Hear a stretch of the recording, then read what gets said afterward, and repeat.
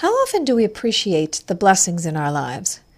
In this time of the coronavirus that has changed, hindered, and even devastated some of us, are we focusing on the bad or the good, the temporary or the permanent? Whether in difficult times or seasons of abundance, how often do we take things, people, and overall blessings for granted? This is something I think about every time I read the account recorded in 2 Chronicles 9. King Solomon was the richest man who ever lived, and he was also the wisest.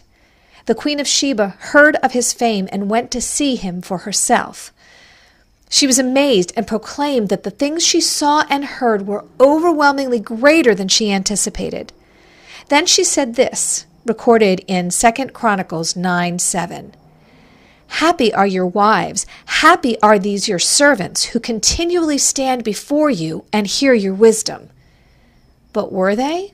Or had they gotten so used to hearing him that they just stopped listening?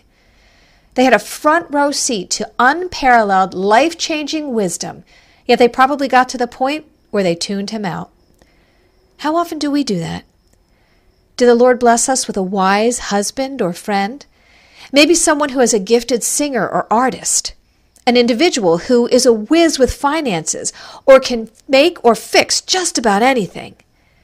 Do we appreciate them or take them for granted? Let's take a moment and think about this, and then be thankful for our many, countless blessings.